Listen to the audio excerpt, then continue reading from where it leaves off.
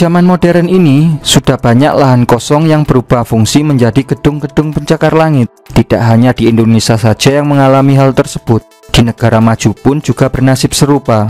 Di negara China, para petani juga mengeluhkan hal yang sama, karena luas lahan untuk dijadikan sebuah sawah sudah jauh sangat berkurang. Karena itu, seorang petani asal Shaoxing China mempunyai ide yang cerdas dengan memanfaatkan lahan sisa yang ada, yaitu di atas gedung bertingkat. Mereka secara kreatif menyulap sebuah lahan di atap sebuah gedung menjadi sawah untuk bertani. Dengan luas lahan hanya 120 meter, petani itu sukses memanen padi dan 400 buah semangka.